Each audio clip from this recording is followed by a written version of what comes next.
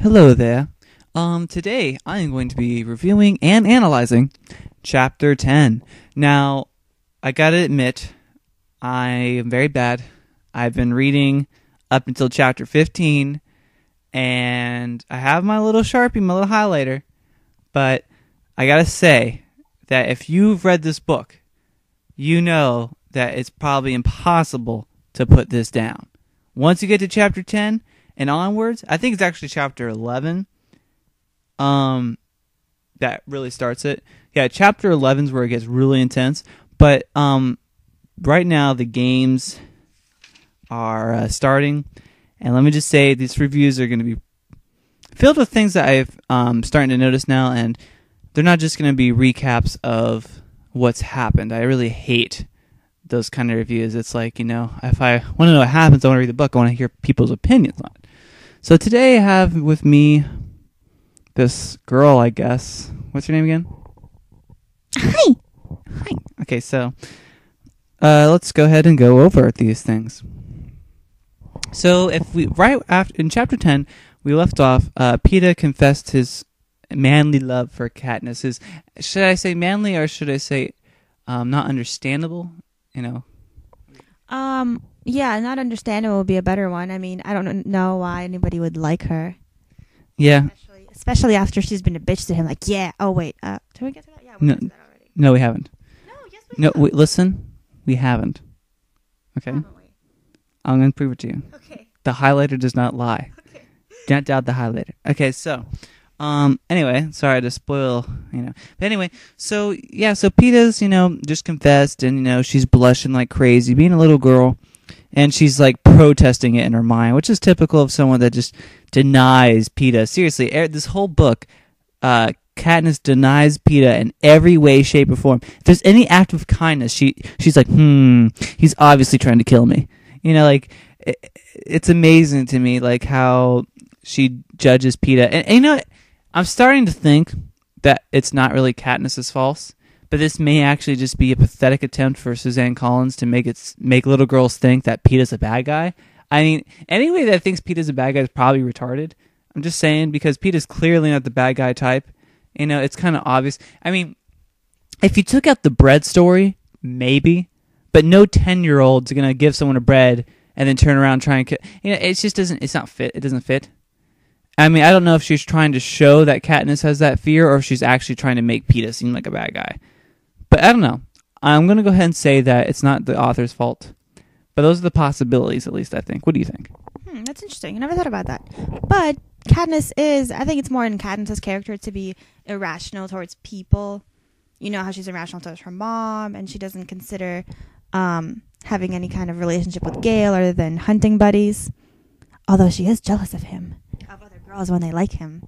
Well, actually, she she's come to terms with her feelings recently. Um, I think it was in chapter eight or nine. She starts going, "We're much more than friends." Over this past year. Oh yeah. So, um, the next thing I want to talk about is how the audience is so involved in these Hunger Games.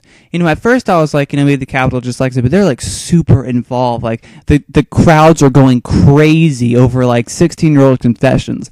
Like they're like, oh my god, Peeta likes this girl. It's unrequited love. This is so serious, and like they're all like cheering and howling. Even during when she, I mean, the fact that she was on fire in the crowd was pretty cool.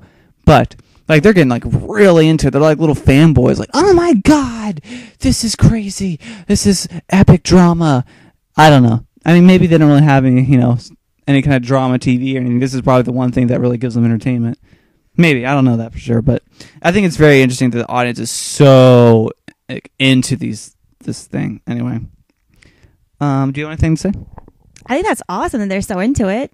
Um, it's very understandable, and it's pretty cool. It's they're they're like it's the livest form of live TV ever because people actually die. Yeah, and actually, I- I gotta admit, the whole concept of the Hunger Games sounds like a really cool thing to watch. If you can minus the death, I would love to see that in real life. Like, if if it was like a virtual world, but it wasn't like a game, like it was actually people, and it's just like if you died, you got teleported back or something. I think that'd be pretty cool to watch. Would you want to watch something like that? I definitely want to watch something like that. I think like um Katniss's whole thinking process as she's running away, like when she thinks about food and like all the practical things is really interesting. I really like that. Yeah, it's definitely going to help her later in the games. Um, so let me talk about something. Um, you know, after Peeta confessed his love, of course, Katniss' first reaction isn't to talk to her about it, but to punch him in the face. Actually, she um she pushed him down, um, which is surprising because Katniss is supposed to be like a you know really really small compared to Peeta, and you know like she's so angry. I mean, like why would you be angry at someone for kissing the feeling? Like she thinks that it makes her look weak, but he was actually trying to help her. We find out that it wasn't a real confession of love. It was more just a, uh, you know, oh, I wanted to help you out kind of thing. Like I wanted to make you feel better, you know, or not make you feel better, um, make you look good because it makes more sponsors and stuff. And she starts realizing that she's like, oh yeah, you know, I did kind of look like a you know twirling idiot, and I agree. Seriously, I hate that.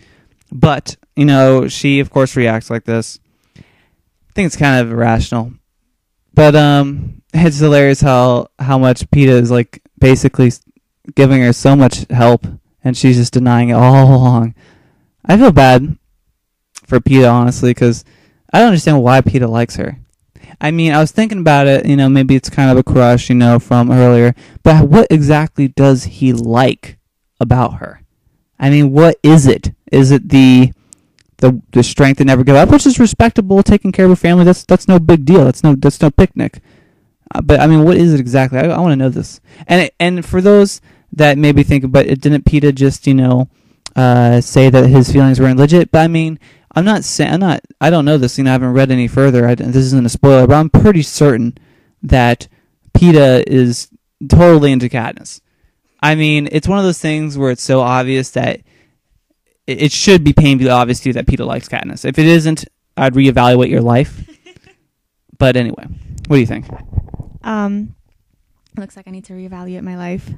Well, okay, I have to defend Katniss. Oh, first of all, I have to say that it's okay that she pushed him down because she's a girl, and it's okay for her to, uh, like, punch people in the face of their guys. But it wouldn't be okay the other way around, of course.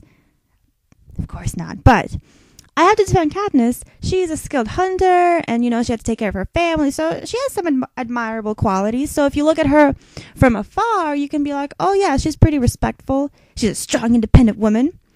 Maybe he just hasn't realized yet that she is irrational and she doesn't understand her own emotions. He'll realize that probably. Well, he would if he got closer to her, but by that time it would be too late.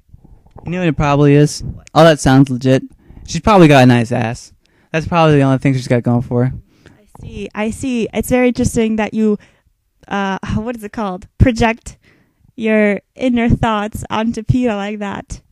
Listen, I'm, Peeta's my bro. Me and him go a long way. I know. I know. Me and Katniss are very similar. Okay, so all right, so enough about that gay. I mean, awesome stuff. Um, I don't think it's gay. I actually do like the romance, but um, I actually think it's sad that Effie, even though she was kind of like saying all those mean things earlier, you know, she was always saying like mean things to District 12, but now she is actually apparently forced to say that. When Effie was saying goodbye to Katniss, you know, she was forced by law to say something like, "I wouldn't be surprised if I finally get promoted to a, dis- a decent district next year." Like that sounds kind of harsh. You know, she's insulting the district, and, and and Katniss could tell that she was forcing herself to say it. So it'd be kind of cool if Effie kind of changes her mindset. You know, that'd be. I mean, I I don't know if that's gonna happen or not, because Effie seems like a dull character, but um, well, go ahead. How did you know she was forced to say that? Well, it says it here. Um, it, um, uh, Effie is apparently required by law to say something awful. She adds, you know, then the quote. Oh, really? Yeah. I didn't know that. Well, no- Maybe Katniss was being sarcastic. Um, she was like, what? Why would she be sarcastic here? Okay, okay. Um, what's it called? Maybe Katniss was like, "Is this bitch like required by law to say this? Because there's no way someone can be that mean or retarded." Or did she actually literally mean? Um, I'm pretty sure she directly says this. Why would she be sarcastic? Why? Who is she being sarcastic to? Not like sarcastic, but it's her way. Okay, listen. Yeah. I know you want to defend Katniss and make everyone else her enemy, and you're just a huge fangirl of Katniss. But listen, she's directly saying that she's apparently required by law to say something awful. Okay, so it's not like I mean it makes sense. I mean, why Effie apparently likes Katniss now, so why would she say that? I mean, just to be mean. Like, come on, it doesn't make sense. Listen, I know I'm right. All right. Um. so I, I think that's this is another thing that really made me get goosebumps during this. Um, Haymitch originally said something like "Stay alive" um, to them, and there was a big heated thing that happened to that because he thought it was a joke. So yeah, stay alive. Haha, there's some advice. But now he actually looks at him seriously and is like, you know what? When the when the gong rings, you need to get out there and stay alive. And they can they can tell it's more serious. I thought that was pretty intense. You know, that's that's tough to say to somebody. Um. So some of the things that happen. Um. Uh, Peeta was saying something about. Uh, you know, I've never really been a contender in these games. Uh. Well, actually, let me let me get into what happens here. Um, this is actually a really sad scene. I really respect Peeta after he said this. Um, this is uh, I guess she was on a rooftop, and she sees Peeta on the roof, kind of like sitting by himself, and he's kind of sinking into his own thoughts. And this is actually a quote from the movie trailer, at least. Um, and he says something like, uh, you know, he's like, I don't want to die. I want to die as myself. Does that make any sense? You know, I don't want them to change me and there turn me into some kind of monster that I'm not. And you know, and he's really giving out his, you know, he's like, you know, I don't want to change. And I respect that. You know, if I was in the games, I'm sure most people wouldn't want to lose themselves. They want to participate in the games if they really I mean, unless they're crazy, but you know, like I would actually be like, you know, I don't want to lose myself. I don't want to. I don't want them to see that I'm an animal or anything like that. I want to actually, you know, be be who I am. At least die with honor or dignity that I have left. House would argue that you can't die with dignity, but, um, and then it's funny, you know, she's actually felt inferior. You know, she was actually like talking about how to survive, but you know, Pete has been actually thinking about how he's going to maintain who he is you know his purity to himself um and he actually said that he said he would kill some he'll he'll kill someone else which is surprising to me because i didn't see to me it's like it takes a lot to kill someone. Like they always they always pass it off in stories like it's easy. Not like i know anything like that but and just saying that it, it, i can imagine it takes a lot more than just okay i'll kill someone. Like it, it takes a lot more guts to brutally murder a child. Like that I mean, if it's like someone that's trying to kill you, okay, you kill them, but someone that's like a kid, like, can you really imagine stabbing like a little kid? I mean, that or anything, you know, stabbing, shooting, whatever, cutting their head off with a sword. That's that's not something that I could just you could just pass off. But anyway, I'm surprised at that. But I like how he says, "I want to show the Capitol that they don't own me. I'm more than a piece in their games." I think that's pretty badass. Um, and then this is where Katniss says something really irrational, and this is why I hate Katniss. Now, listen, I want you to calm down. Listen, I know that you're probably listening to this and you love Katniss with all your heart, and you love her, and you just don't ever want to see anything bad be said about her, but you need to listen to this. If someone said something like, you know, he's like, you know, I want to show them that I can fight, can be myself, and I'm not just a piece in their games, and then she says, but you're not. None of us are. That's how the games work. You know, she's being bitchy, and it's so pathetic how she shuts him down and then and then he's like, you know, you know, there's still me and there's still you inside, don't you see? And then she says, a little only, but no offense. Who cares, Peeta? You know, like she's just like, no, no, this is the game. This is how it works. We have to murder people. We have to not become ourselves. We have to give up. We have to basically be the uh, the Capitol's bitch. It's pathetic. And then it's funny that he says something really funny. Uh, it's funny. He says something like, um, you know, he's like, uh, she's like, you know, look, you know, we can spend this last hour of your life planning noble death, but I choose to spend my rest of my life in District 12. And he's like, wouldn't be surprised if you do. Give my brother my best when you make it back, will you? And then she says, count on it. You know, that that's fucked up. You know, he just she he he she knows that his mother like basically beats him and whatever, and she's basically saying, "Yeah, fuck you" to her, to him, while he's sitting there being sad. It's really it's it's like she doesn't care about other people's feelings. And I can't like someone that does that. I'm sorry. I can't like someone that just disregards other people's feelings and shits on them and says basically, "Hey, I don't give a shit about you or your family. I'm going to kill you." To me, if you say that to someone, you're crossing a line. And then it actually is funny. Um, uh, he actually before this he was saying something like, um, uh, you know, he's like, "What else am I allowed to care about at this point?" And then, you know, and she was like, you know, care about what he, uh, said, stay alive. And then he smiles. Um, you know, and he looks sad and he says, "Okay, thanks for the tip, sweetheart." And and and it's just like, I like how Peeta's doing that. You know, I hope she realizes that you can't just be a capitals bitch. Ugh. So anyway, what do you think? Yeah, that's the incident I was referring to. Guess you're right. I guess we didn't cover that yet.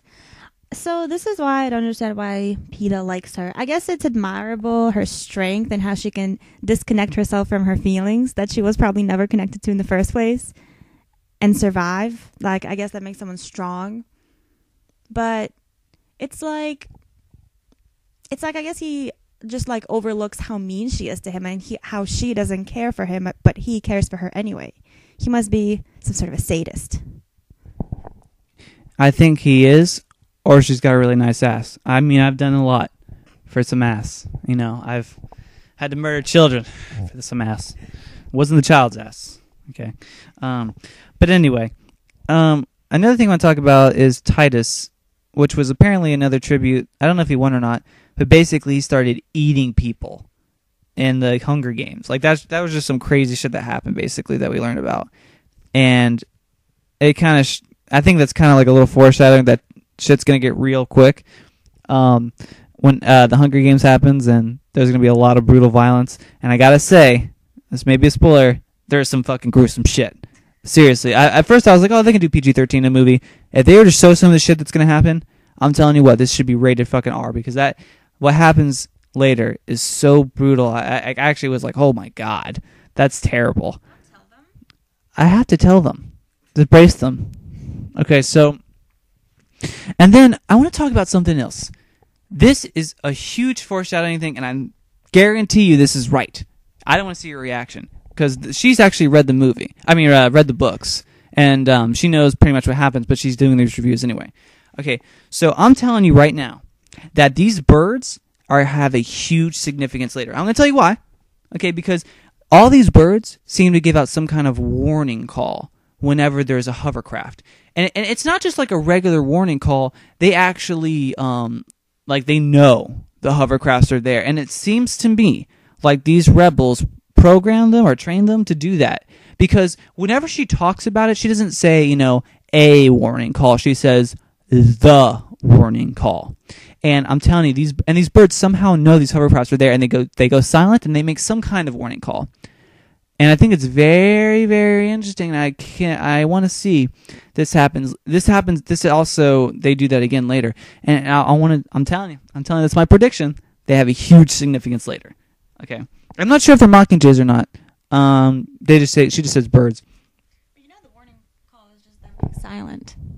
No, it says that they give out a warning call. They don't. They they in the book it says they go silent and then give out a warning call, and not a warning, the warning call. Um, but anyway, and then and then we learn about these basically uh, alien hovercrafts that they have, which is pretty interesting. Um, uh, it's it's an interesting choice, you know, the future, and they have all these things, but then hovercrafts is kind of kind of interesting, and it apparently has like some kind of magnetic thing that makes people not be able to move or attach to the ladder, which is pretty cool too. And then they stick a tracker inside of Katniss. That may be significant later. And then we learn that Katniss is actually a little bit emo. She's forced. She's basically hurting herself to deal with her anxiety, which is understandable. But I mean, hurting my. I wouldn't want to hurt myself. Like I would just deal with it in my head. But she's actually like forcingly sticking her finger down this fucking hole in, in her arm. I mean, that's that's a little brutal. I mean, you can like you know, kind of shake your head, clench your fist, but that's that's a little gross. It doesn't go inside her arm, but she's pushing down where that tracker went inside of her arm and like really forcing it down, really hurting herself. To me, that's a little that's a little uh, little crazy. What do you think? Well, David, not everyone uh, has like the perfect way to deal with stress like you do because not everyone is superhuman. It, I think this is totally understandable. I mean, she's facing her death. She's not going to react normally because there's no normal way to react to facing your death. Yeah, I understand that. You know, I, I give her credit. I'm just making fun of her, but you know, I can understand. Um, but uh, another thing too, we learned about the launch room, where basically they get out into the Hunger Games. Um, it's called the Stockyard, basically, in District 12, or at least the other districts that she says, and it's basically where animals go to slaughter because they just consider it slaughter for the di- and the you know the tributes. Um, and then I learned about the mountains and how they actually uh, benefited the uh, Capitol.